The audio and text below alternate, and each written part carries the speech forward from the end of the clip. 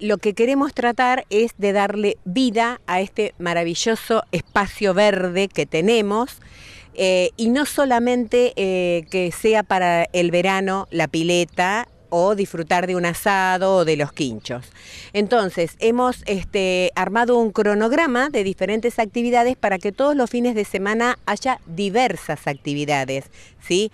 Porque va a haber desde competiciones de natación, bueno, más allá de todo lo que hay en el verano, que es la colonia y la pileta, competiciones de, este, de natación, duatlones, em, este, pruebas de bicicleta, los viernes a la noche que se hacen las nochecitas folclóricas, o sea, hay varias actividades para que todos los fines de semana haya actividades en el club para todos los gustos y para diferentes edades también. Esa es la idea, darle vida al camping. Y después de este año de pandemia y todo, realmente nos pusimos a pensar que la gente está necesitada de aire y de vida en la naturaleza.